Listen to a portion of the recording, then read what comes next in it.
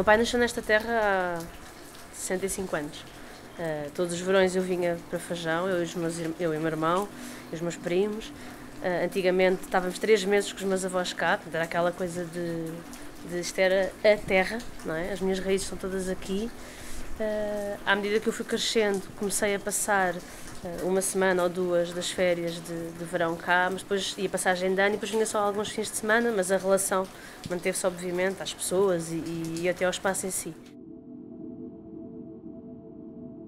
No dia 15 de outubro, quando uh, Fajão ardeu, nós sabíamos que havia, nós em Lisboa sabíamos que tinha havido um incêndio, mas não percebemos exatamente uh, a dimensão que o incêndio teve. Nós na manhã do dia 16, as pessoas estavam em Lisboa, eu, a minha família, os meus amigos, acordámos com uma mensagem no Facebook de uma, de uma pessoa da nossa família que dizia que tinham ardido 18 casas em Fajão. E nós não percebemos a dimensão do que é que isso queria dizer. Ficámos assustados, obviamente. Tentámos ligar para pessoas daqui, Uh, e o que aconteceu foi que nós, ninguém nos respondia, porque não havia comunicação, portanto não havia nem telemóveis, não havia internet, não havia nada, e portanto nós não conseguimos saber nada do que se passava aqui.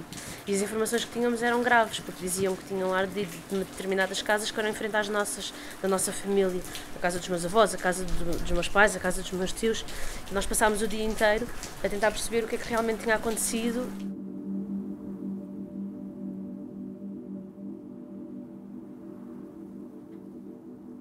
Eu acordo, a primeira coisa que fiz foi pôr toalhas nas janelas, molhadas. Ouça, entrava, entrava lume assim, chovia lume. E depois foi eu fazer essa tarefa, meter toalhas em todas as janelas, ir regar os telhados dessas ditas pólvoras, reguei tudo, enquanto houve água.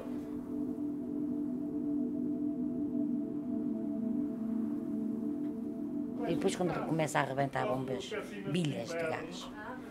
Eu mesmo aqui levo com. Sim, eu estava assim numa janela, numa varanda, uma porta como esta, do lado de dentro, a pegar no álbum de fotografias da minha filha quando ela nasceu, e o meu pastor alemão parecia um puto.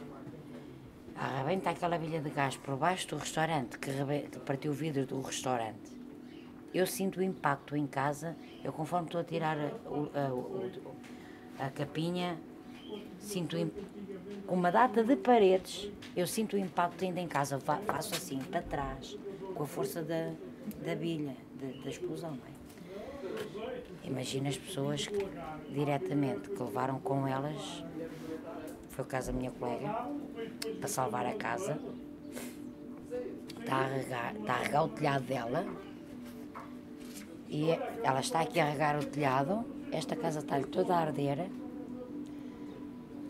Aqui tinha uma, uma, uma, um aquecedor com uma bilha de gás que rebenta. Ela é projetada com aquela explosão, parte dos pulsos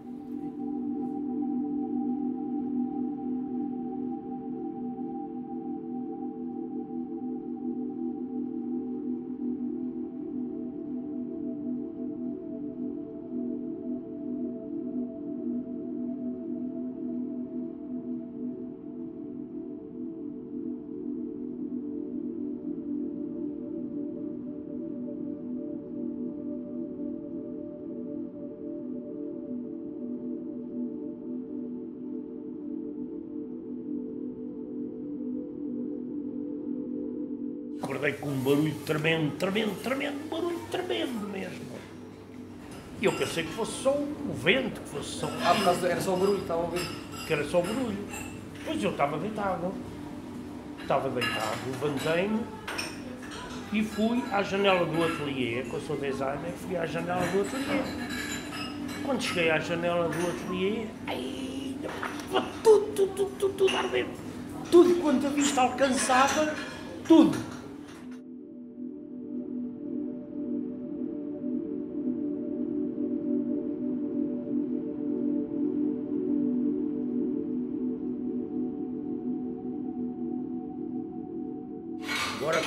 quando eu chego e, e vou espreitar a janela que dá aqui para a vila, foi, foi assustador, não consigo As casas estão ordem todas, todas, todas, todas, todas. Estava a arder tudo.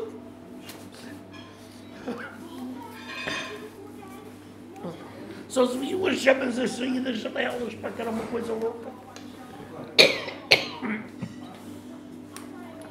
Eu nunca imaginei uma coisa daquelas na minha vida.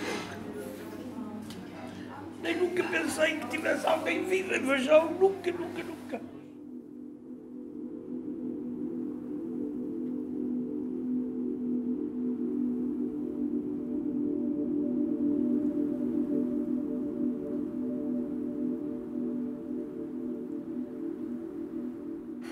E eu, ainda da altura, perguntei quais eram as casas que estavam a arder.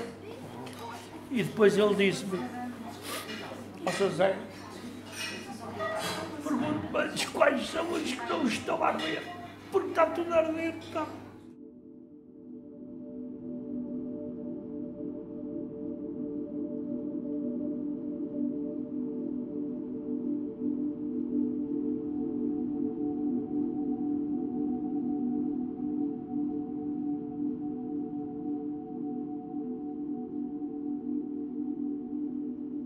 Aqui eu nunca vi um espírito de entreajuda tão grande como assisti aqui em.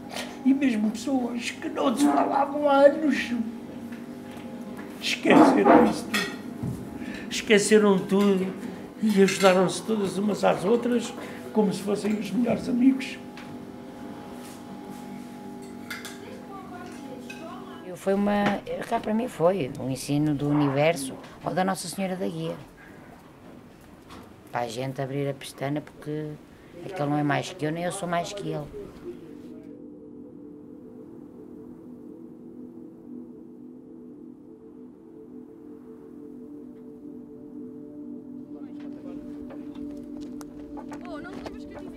A Dona Vitória está muito preocupada deles, deles estarem a trabalhar e estarem cansados e estarem a fazer o trabalho, mas o objetivo, e a gente veio de Lisboa para fazer uma coisa assim.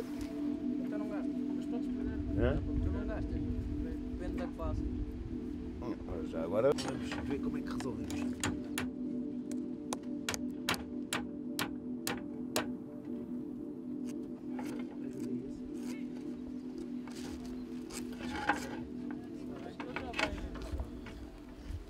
É triste, bem triste.